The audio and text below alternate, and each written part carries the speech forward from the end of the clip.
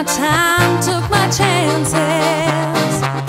Went the distance, now I'm back on my feet. Just a girl and her will to survive. So many times it happens too fast. You change your passion for.